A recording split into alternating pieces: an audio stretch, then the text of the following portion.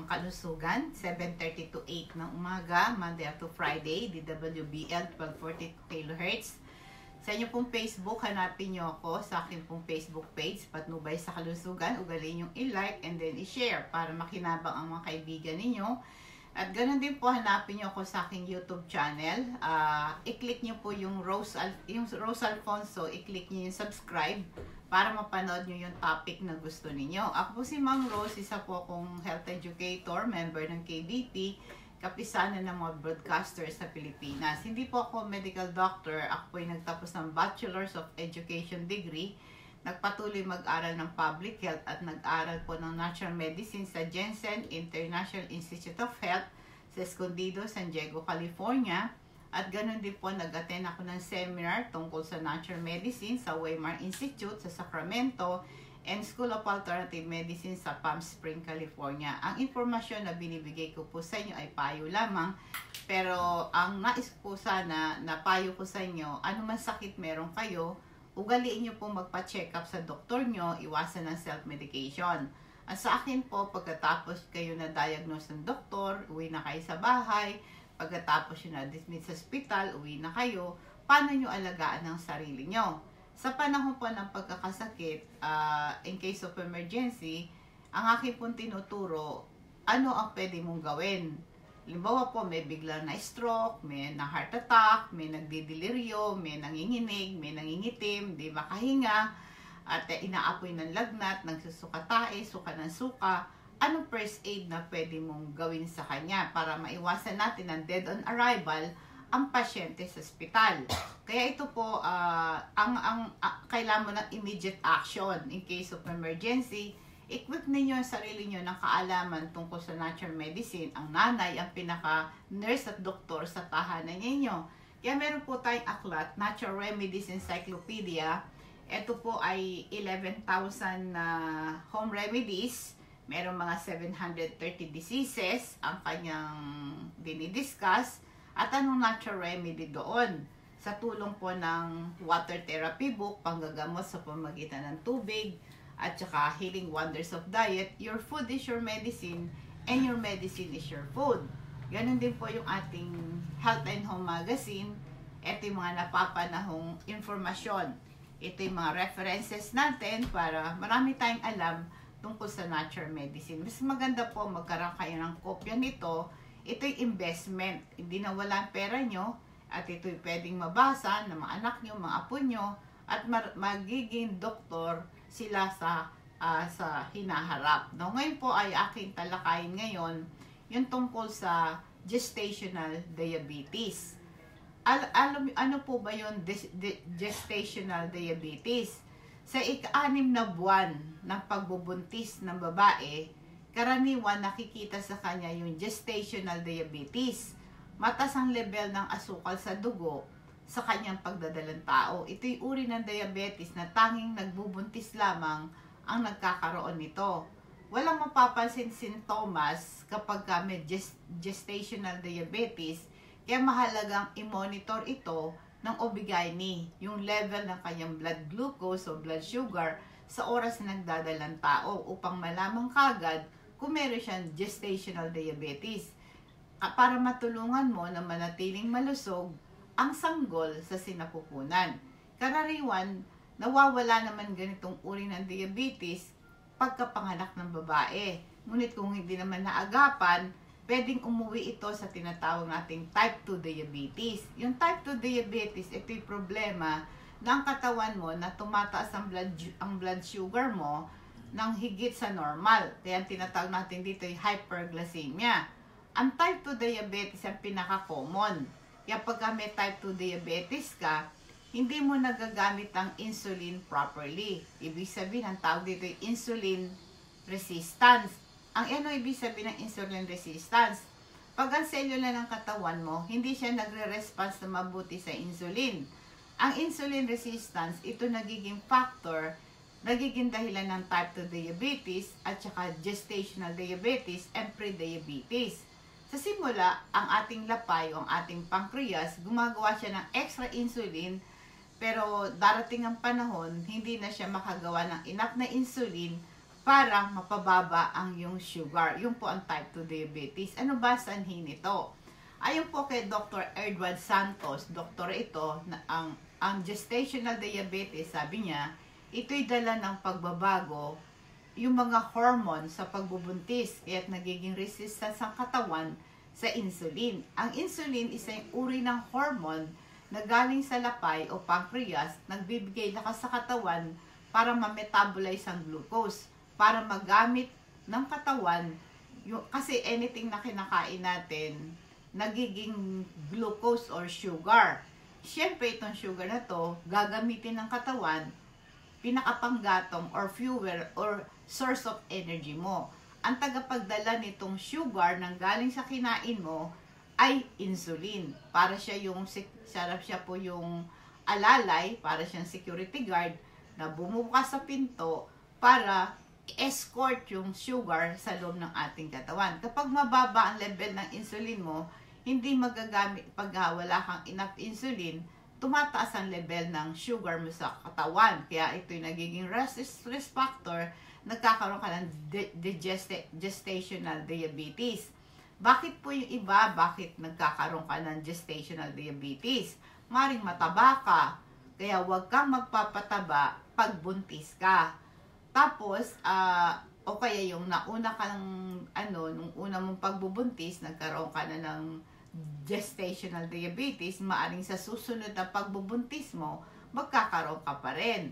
Tapos, lalo na pagka nanganak ka, ng unang sanggol mo, ang timbang ay 9 pounds. Karamihan po kasi mga batang sinisilang, 6 pounds, 7 pounds. Pero pag nag 9 pounds na yung baby mo, ay ikay candidate sa gestational diabetes.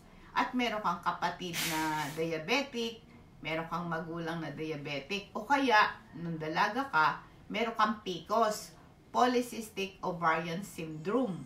Kaya karamihan ng mga babae na may PCOS, pag nagdalang tao sila, candidate sila sa gestational diabetes. Ah, kaya para malaman ito, ang magdadiagnose ang doktor.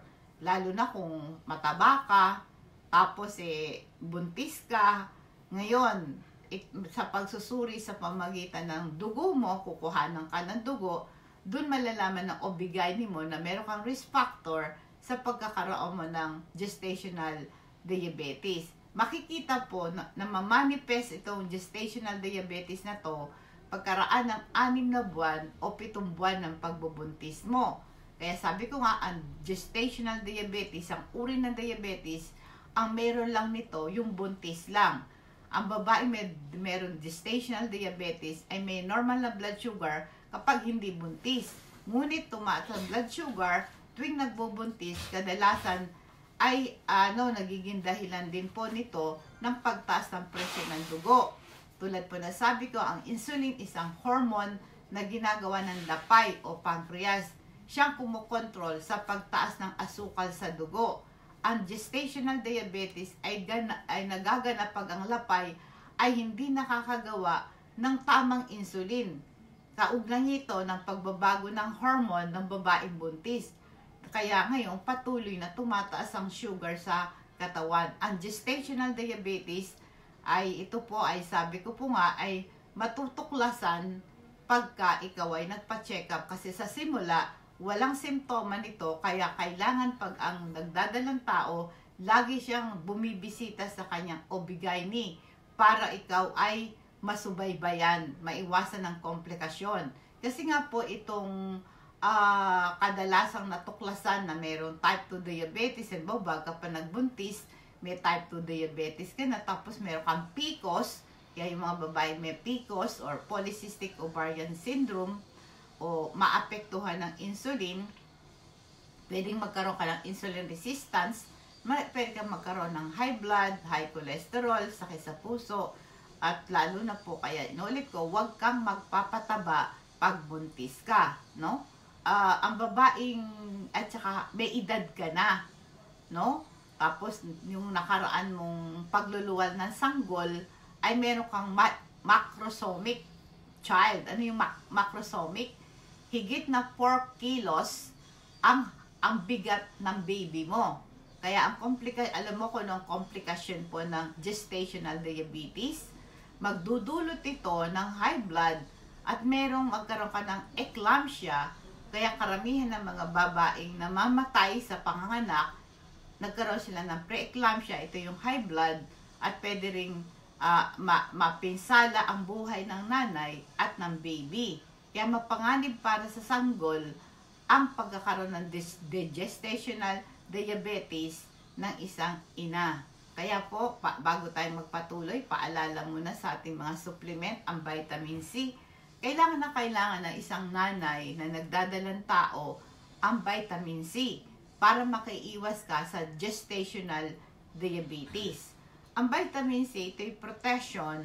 Sabi ko po, uh, uh, lagi kong sinasabi sa inyo, ang vitamin C, meron siyang critical role sa pagdepensa sa ating katawan panlaban sa infeksyon sa mga free radical. Ang free radical, ito yung mga harmful molecule na nagkukos ng degenerative diseases like cancer, diabetes, at saka marami yung, yung nakakapinsala, nakakamatay na sakit. So, ang vitamin C, ito po ay depensa, ito ay antioxidant. Ano mo pagka nagkakaedad na tayo, uh, nagkakaroon na po tayo ng kahinaan ng ating katawan dahil sa pollution, dahil sa katandaan na natin, para magkaroon tayo ng ganap na panlaban sa karamdaman, madali tayong dapuan ng pneumonia, madali kang dapuan ng tuberculosis. Kaya sa mga mga worker, kailangan nyo po din ng vitamin C to prevent yung hepatitis B, pati yung uh, ano yung tuberculosis, no? Kaya ito po para protektahan mo ang katawan mo sa mapinsa, mapaminsalang sakit, pampalakas ng immune system, mag-take ng vitamin C. Ito rin po ay pang-prevent ng wrinkles sa balat, pang-prevent ng pagkasira ng mga ugat, nare-reduce ang panganib sa cardiovascular disease, no? At sa mga buntis, to, para sa prenatal health problem, kailangan ng vitamin C. At sa mga mata, to prevent cataracta glaucoma, pa hindi ka mabulag, mag-mega dosage ka ng vitamin C. Ganon din yung ating lecithin para uh, ma-activate yung sluggish mind, ma-improve ang memory mo. Uh, ito po is very effective sa nerve signal sa maraming area ng ating utak, responsible sa memory storage and retrieval, ang lecithin. 30% po composition ng ating utak ay lecithin. Kaya pag nagkakaedad na tayo, mag-take tayo ng lecithin. Ako po, pag araw-araw, nagtitake ako ng lecithin, nagtitake ako ng vitamin C, protection sa aking katawan. Siyempre, senior citizen na rin ako, 64 years old, kaya dapat manatili akong malakas at masigla. Ganon din ang Super B Complex, ito combination ng 8 different vitamins. Kung madali kang mapagod, madali kang mahapo, uh, kung ikaw ay na, na, naka, meron kang hinaharap na depression, ang ating pong Super B Complex, ito ay stress vitamins kino-convert niya yung food mo into cellular energy. Ang vitamin B deficiency nakakababa ng red blood cells. Pag mababang red blood cells natin, yan ang carrier ng oxygen. Kaya madali kang hingalin, hapuhin, hingalin, at saka madaling mahilo at maputla. Para masuportahan ang normal function ng ating nervous system, anti-stress vitamins, para ma-maintain ang nerve ng ating mata, buhok, balat, at tayo for proper brain function, kailangan natin ng Super B Complex. At available po yan sa atin sa uh, Lagman Building sa Blumentritt. Ganon din po yung omega-3 fatty acid, all kinds of inflammation, arthritis, namamaga, inflammation sa lungs, nagkakaroon ng asthma. Eh, ito pong constipation, itong pinaka-common neglected problem today alam mo, ang constipation, the mother of all diseases, pag hindi ka dumudumi araw-araw, maraming sakit na lalabas dyan. Colon cancer, breast cancer.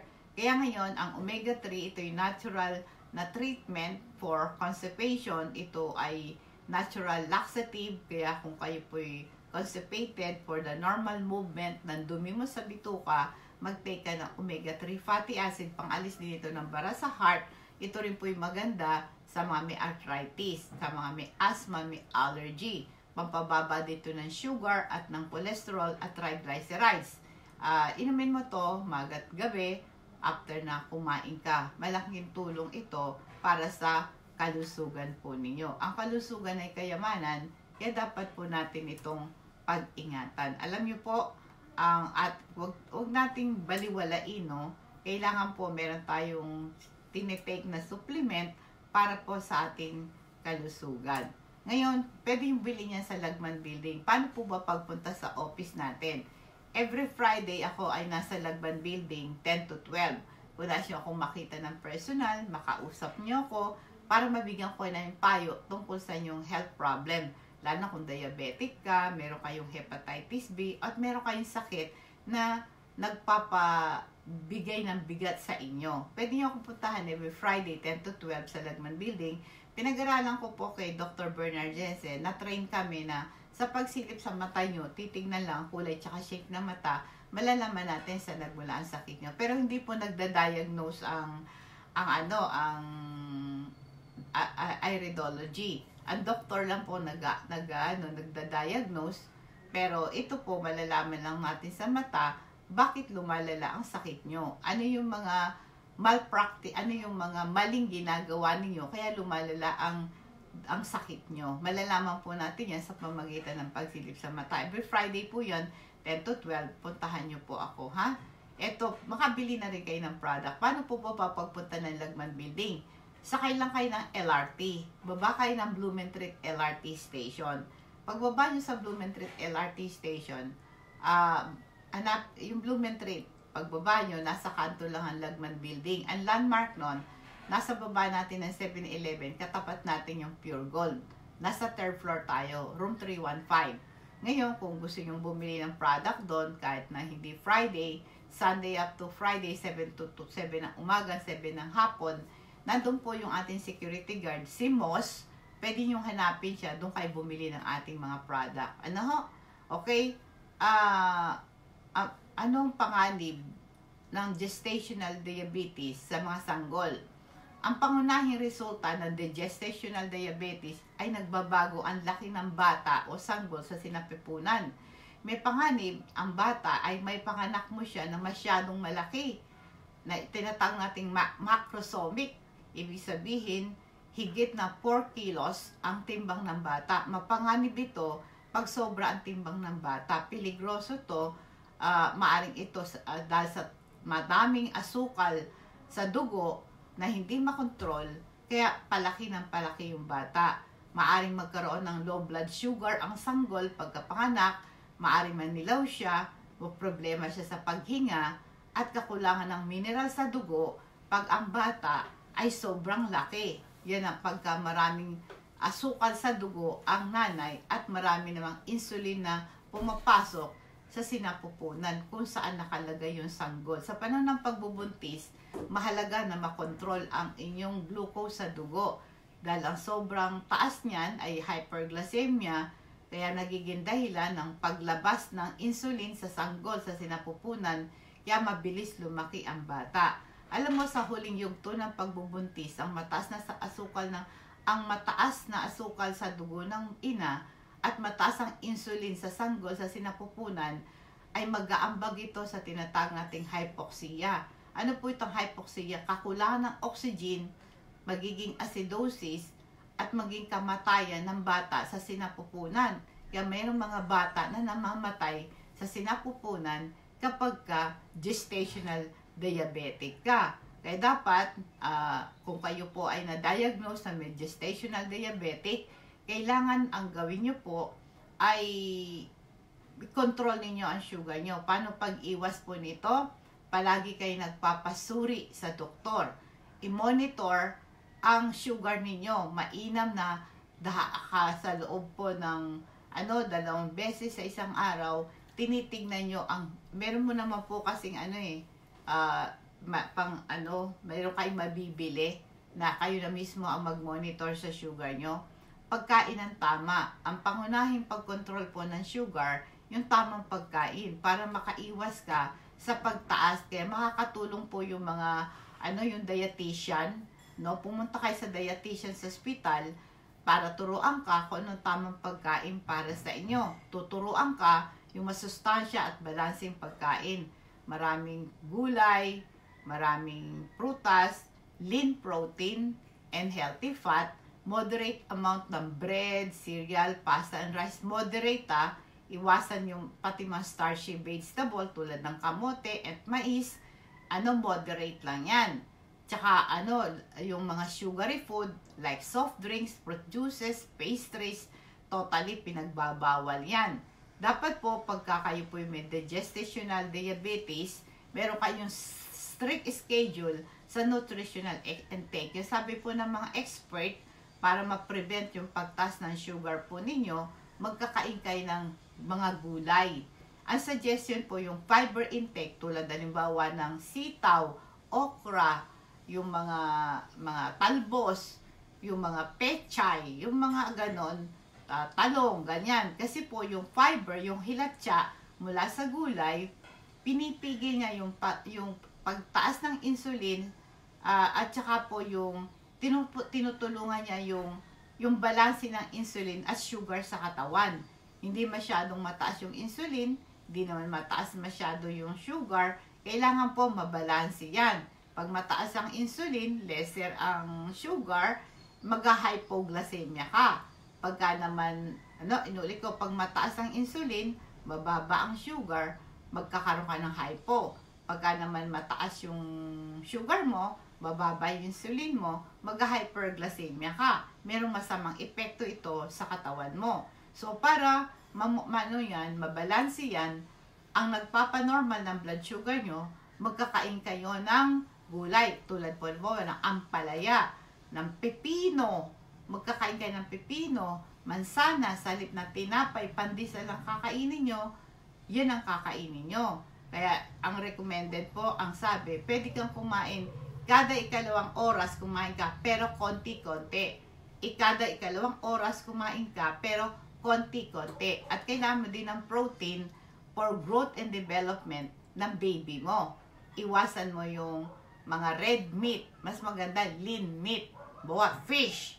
Mga white meat, like chicken. Wala siyang, wala siyang, wala siyang, wala siyang ano yung balat. Iwasan mo yon. Kaya kailangan din daw po ay magbibilad kayo sa araw para ma-absorb yung calcium at iron at magnesium para sa proper ab- nutrients absorption, kailangan nyo po ng ano, ng init ng araw.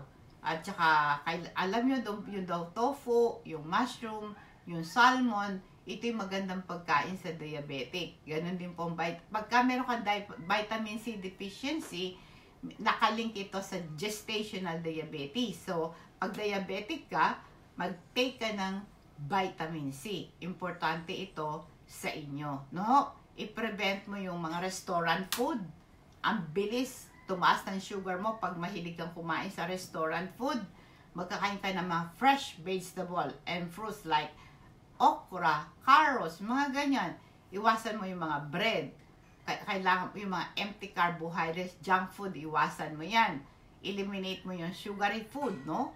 Kaya mas, tsaka daw po mag-exercise ka. Alam mo, ang exercise, nakakapagpababa ng sugar. Pagka nag-exercise ka, without the help of insulin, ang sugar pumapasok sa katawan mo, mabeburn mo as your fuel. Kaya 30 minutes walking or sa swimming pool, stationary exercise, malaking tulong. Kasi ang exercise, ginagamit ng katawan mo yung maraming sugar sa dugo pag nag-exercise. Sabi ng mga expert, pagka nag-exercise ka, nakokontrol ang sugar po ninyo. Paalala mo na po sa ating activated charcoal. Alam mo, activated charcoal, nagtatrap ito ng toxin at chemical sa katawan para ma-flush out ito sa body para hindi ito ma-absorb. Kaya pag uminom ka ng activated charcoal, damihan mo yung tubig na iniinom mo. Maganda to sa kinakabag, sa uh, acid reflux, hyperacidity, sinisikmura, kumukulo ang tiyan mo. Nakakababa din ng cholesterol ang activated charcoal. Nare-reduce din po yung blood alcohol concentration. Yan nagpe-prevent ito ng hangover. Kung constipated ka tapos bad breath ka, maganda po mag-take ng activated charcoal.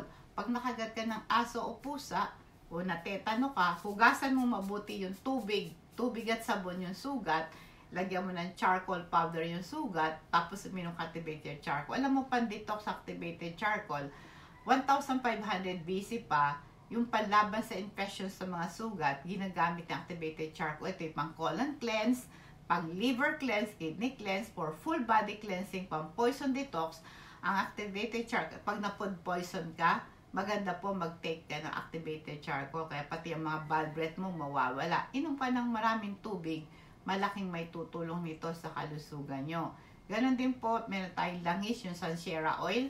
Ito yung pinagsama-samang halamang gamot na ito po ay maganda sa sipon, sa ubo, sa lagnat, sa trangkaso, pamamalat, kabag, pahid mo sa dibdib, kung maplema ka, nakakaginhawa ng paghinga, may dysmenorrhea ka, masakit ang puson mo, pinupulikan, masakit ang mga kalabnan mo, nirarayuma ka, gamitin niyo po yung Sanshera oil. Panghaplos ito, hindi ka din dapuan ng lamok. Pag kinagat ka ng insekto, mawawala ang kate. Subukan niyo po pa nag naghaplos ka niya, hindi ka lalapitan ng lamok. Yan po yung ating Sanshera oil.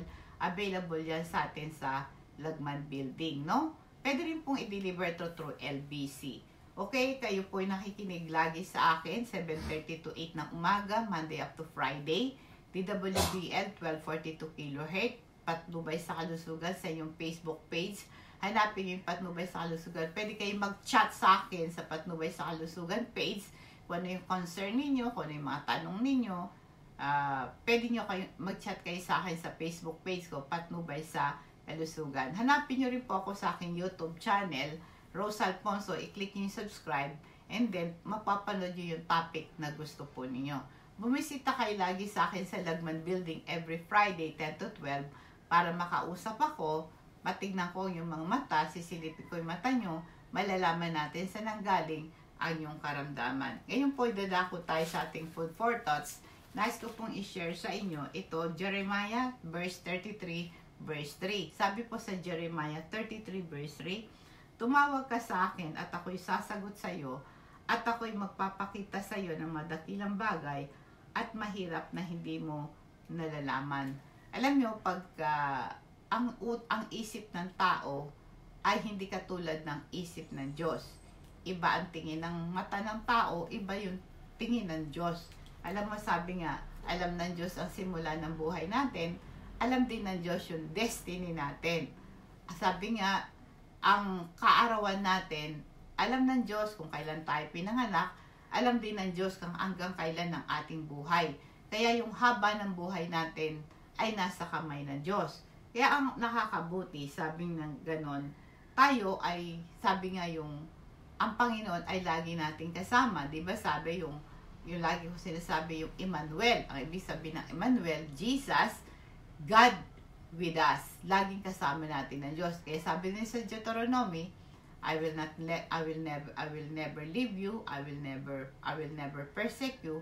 I will be with you. Sabi sa Matthew, in the end of the world. Di ba? Ako kasama ko kayo palagi hanggang sa katapusan ng mundo. Kaya ibig sabihin nito, pagka may problem ka, eh, nandyan lang naman ang Diyos katabi mo. Sa pamamagitan ng panalangin, makakausap mo na siya. Kaya sabi, tumawag ka sa Kanya, ako, uh, ito po ang pangako niya. Ang, ang pangako po ng Diyos, ang pananampalataya mo, depende dun sa pangako niya. Ano yung pangako ng Diyos? Tumawag ka sa akin at ako'y sasagot sa iyo. What is faith? Ang faith, naniniwala ka doon sa sinabi niya. Kung may faith ka, di maniwala ka, tumawag ka, sasagot ako sa iyo, ipapakita ko sa iyo mga dakilang bagay na hindi mo nalalaman. Kasi po, minsan sa buhay natin, meron tayong mga desisyon sa buhay, maaring mag-venture ka sa business, maaring meron kang mga gustong gawin sa buhay mo. Uh, gustong pumunta sa ibang bansa, o gusto mo mag-asawa, hindi mo alam, meron dalawang nanliligaw sa'yo, hindi mo alam kung sino yung tatanggapin mo. So ngayon, ang Diyos alam niya kung sino yung nararapat para sa iyo. Ang gawin mo lang, tumawag ka sa akin, ako'y sasagot sa iyo. At ako'y magpapakita sa iyo ng mga dakilang bagay. So maaring sabihin mo, Panginoon, bigyan mo ko ng sign kung sino po sa kanila ang kailangan, sino tatanggapin ko sa kanila. Halimbawa, mag apply ka ng trabaho, Panginoon, ano po, saan ba ako pupunta? kasi sabi po sa Bible, I will guide you, I will instruct you. Sabi niya, ikay, ikay, ikay, I will teach you, tuturuan kita, papatnubayan kita sa daan na dapat mong lakaran. Kaya sabi nga, in all thy ways, acknowledge God and He will direct your path. Kaya nga sa ating buhay kristyano, in all thy ways, lahat ng bagay na gagawin, i-acknowledge mo yung Diyos, tumawag ka sa Kanya, and He will direct your path. Ikaw ay papatubayan niya sa daan ng tamang daan at sa da- daan ng katwiran. Kaya nga po ako, sa buhay ko din, ano man, ah, kasi ang panalangin natin, di ba sa, ano, yung Our Father, who art in heaven, hallowed be thy name, thy kingdom come, thy will be done. So, dapat, kung ano, para yung panalangin natin masagot, kailangan yung, yung gusto natin, depende sa kalooban ng Diyos. Kasi sabi, mapapasayo lahat ng pinapanalangin mo kung ito'y ayon sa kalooban ng Diyos. Para yung desire mo ay ayon sa kalooban ng Diyos, ipanalangin mo sa Kanya, Panginoon, tulungan niyo po ko na isipin ko kung ano dapat kong ipanalangin sa iyo. Kaya sabi ko, sabi po, kaya sabi nga, Jeremiah 33 verse 3, tumawag ka sa akin, sasagot ako sa iyo, at magpapakita ko sa iyo ng dakilang bagay. So ngayon, pagka hindi mo alam kung ano gagawin mo, ang pangako ng Panginoon, this is your faith. Ipapakita niya sa iyo ang mga dakilang bagay. Magandang umaga po sa inyo. Nawa po ang pagpapalat at patnubay ng Diyos siya sumatin sa buong maghapon.